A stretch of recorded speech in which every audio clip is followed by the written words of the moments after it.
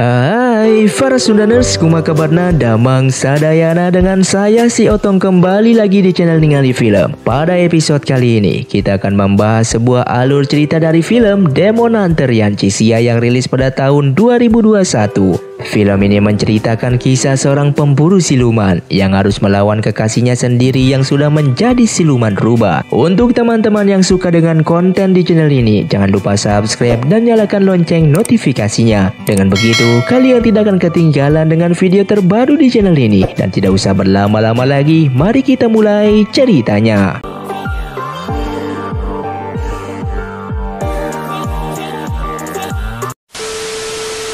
Dan di awal cerita, terlihat sekelompok pemburu siluman. Saat itu mereka sedang berusaha membunuh siluman rubah ekor sembilan.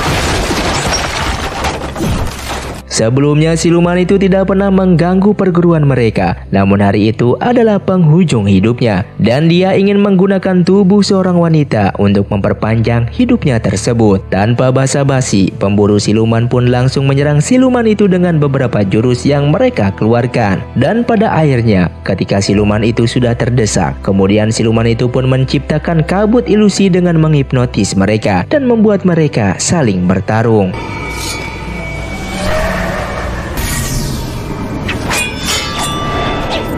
Siluman tersebut pun membunuh beberapa pemburu itu hingga Yang Cisia sadar lalu membunuh siluman itu.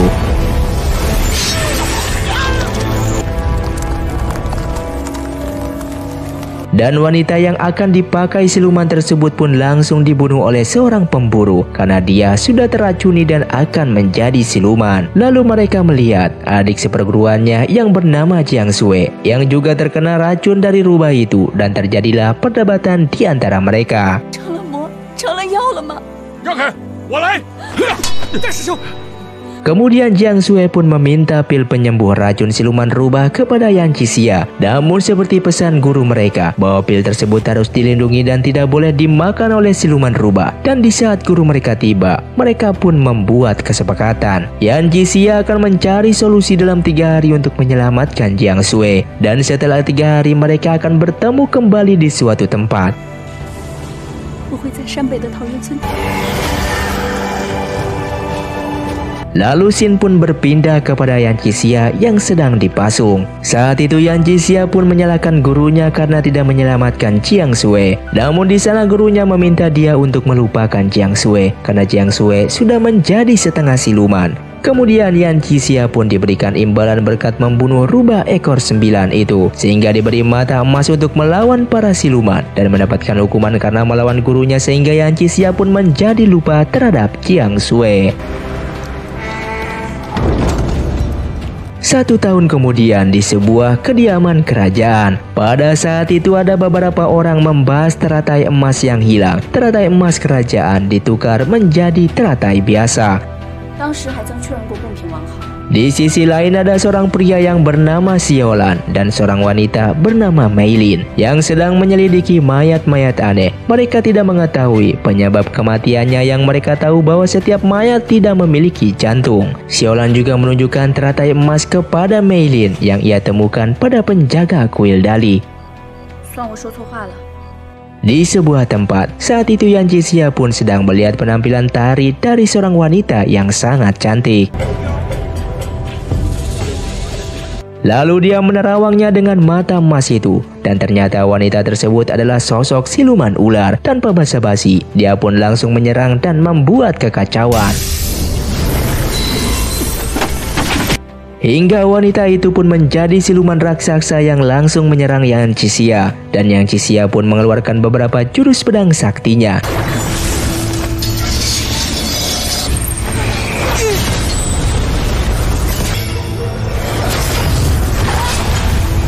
Dan pada akhirnya dia pun berhasil menangkap siluman tersebut.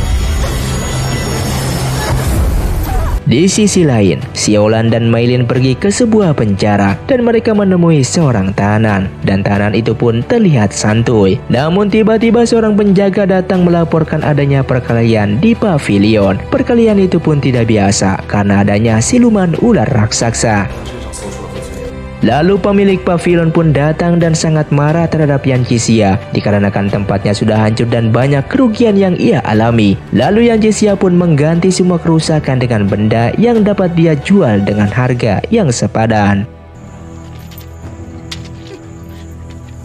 Setelah itu, Siolan dan Melin pun datang ke pavilion untuk mencari Yan Jisia, si pemburu siluman. Mereka juga menanyakan mengenai kejadian di sana kepada pemilik pavilion.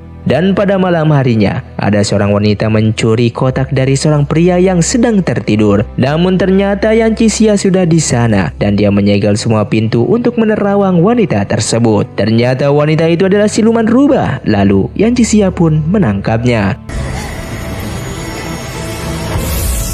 Dan mengambil kembali kotak yang isinya adalah teratai emas.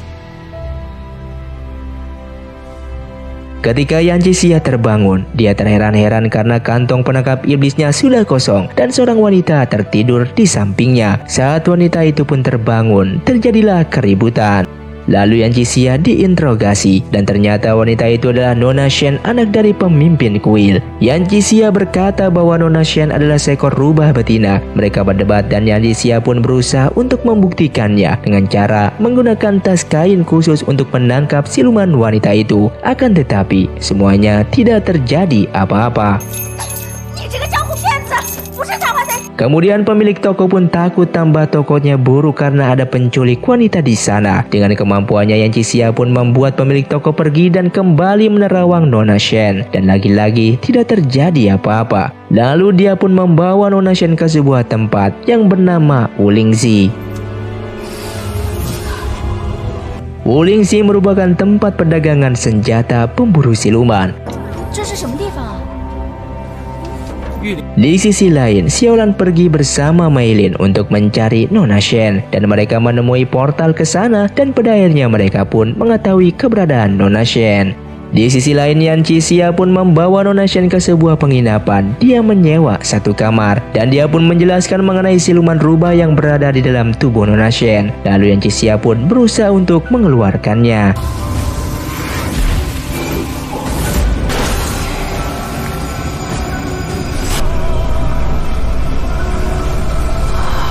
Siluman rubah dalam tubuh Nona Shen ternyata sangat sulit untuk ditangani.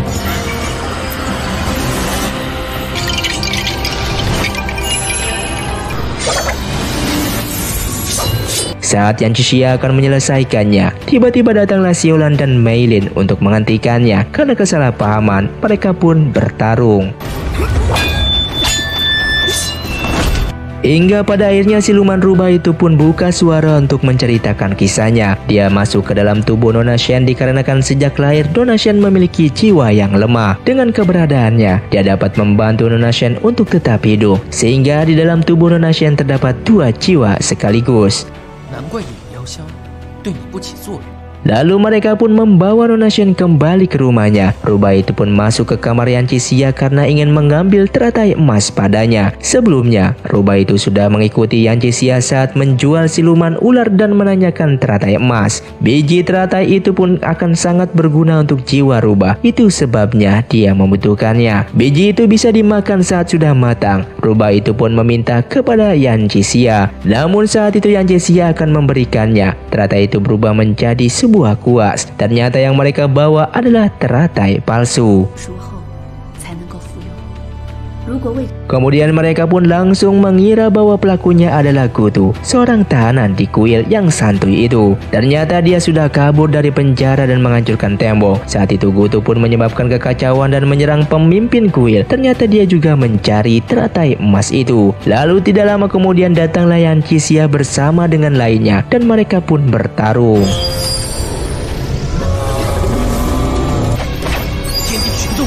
无神通。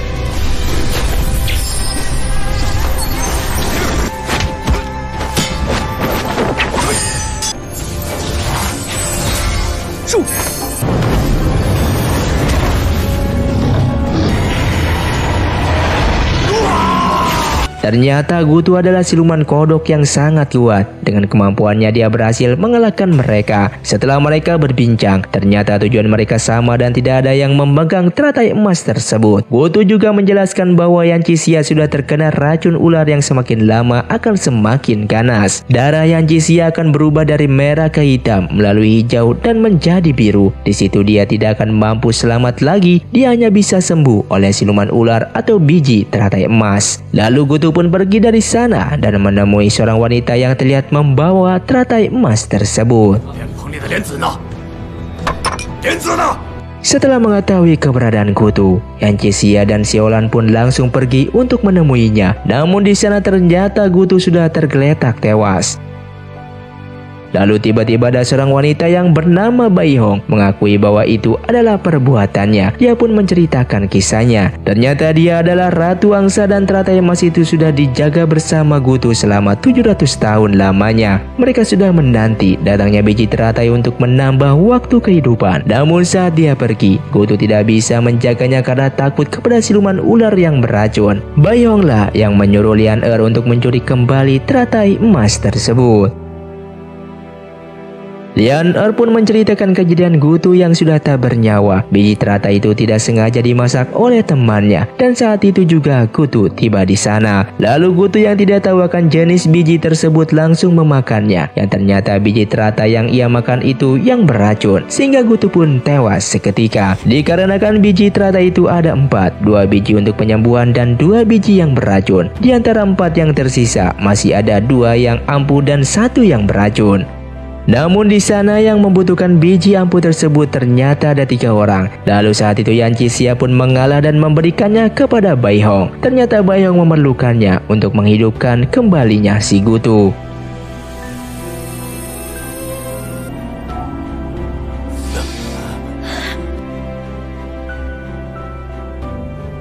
Lalu Yan Xia memberitahu biji yang ampuh itu kepada Nona Shen untuk memulihkan jiwa rubahnya itu.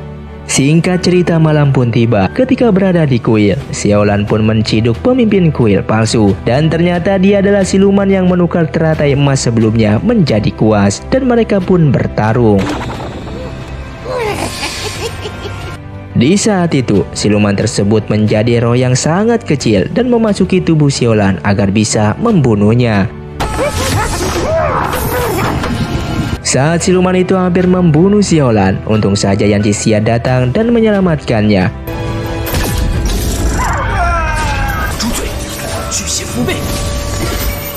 Dengan jurus saktinya, pada ayatnya Yan Xia bisa mengeluarkan siluman tersebut dari tubuh Siolan dan membunuh siluman tersebut.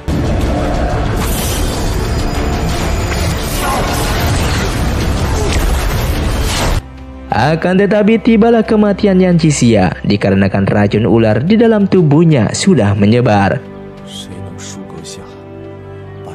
Setelah itu Nona Shen pun pergi ke danau. Kemudian Nona Shen mengeluarkan sebuah aura merah ke dalam danau. Yang ternyata itu adalah aura rubah yang membentuk kembali menjadi tubuh aslinya.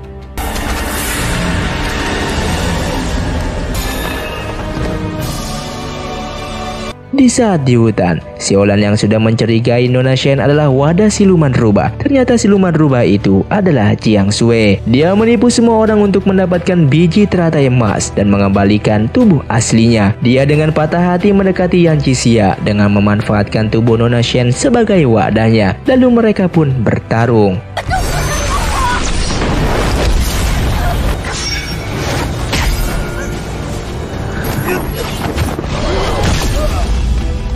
Dengan kemampuan siluman rubah yang sangat kuat, sehingga Siolan dan Meilin pun tak berdaya untuk melawannya. Namun tiba-tiba Yan Xia bangkit dari kuburannya dan melawan Jiang Sui. Ternyata biji teratai beracun yang telah dimakan oleh Yan Xia yang berlawanan dari bisa ular, sehingga dia pun dapat kembali hidup.